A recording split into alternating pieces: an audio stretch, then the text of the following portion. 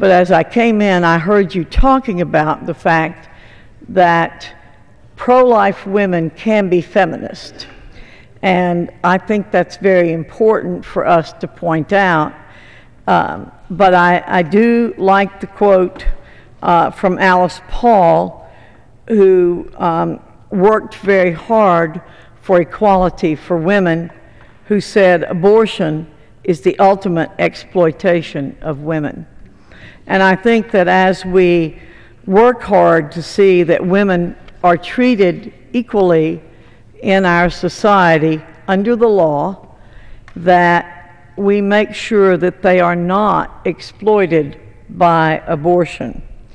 And uh, there's another quote from Elizabeth Cady Stanton. I don't know if you have used it, but she said, When we consider that women are treated as property, it is degrading to women that we should treat our children as property to be disposed of as we see fit. That was in a letter to Julia Ward Howe in October 1873 and recorded in Howe's diary.